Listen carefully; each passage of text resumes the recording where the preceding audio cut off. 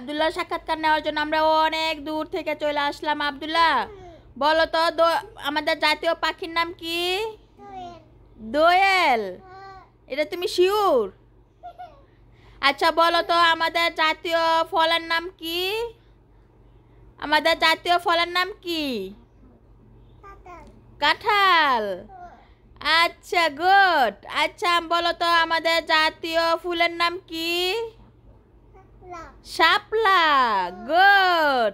আচ্ছা বলো তো আমাদের জাতীয় পশুর নাম কি? বলো। Royal Bengal tiger. ইয়েস। বলো তো আমাদের জাতীয় মাছের নাম কি? ইলিশ।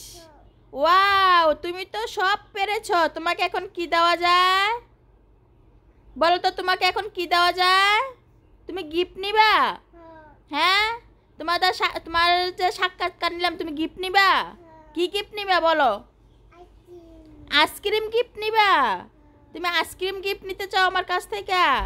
আমি অবশ্যই তোমাকে আইসক্রিম গিফট দিব। জলদি চলে আসো আইসক্রিম গিফট আবদুল্লার জন্য। এই নাও তোমার আইসক্রিম গিফট তুমি খুশি? হ্যাঁ? তুমি এটা ছিঁড়ে খাইতে পারবা?